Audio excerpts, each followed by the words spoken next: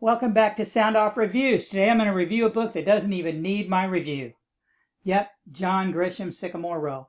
The last time I looked at Amazon, he had like 18,000 positive reviews. So he certainly doesn't need any kudos from me. But this is an amazing book. If you've ever read anything by John Grisham, you will not be disappointed. You're going to love some characters. You're going to hate one. You're going to hate him so bad that you'll finish the book just to find out what happens to him.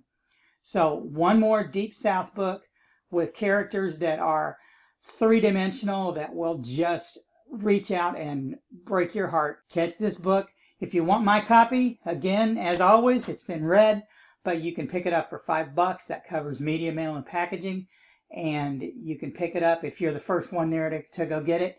Otherwise, go to soundoffreviews.com forward slash sycamore row, and that will take you directly to the Amazon sales page for this book. If you haven't read it, get it. If you don't want to go buy it, go to your library and get it, but read this book. Come on back and post some comments. Tell me what you thought. Um, tell me if you agree or disagree. Tell me if you think John Grisham hit it out of the park again, just like I do.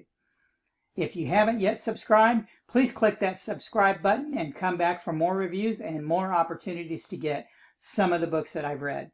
Thanks again.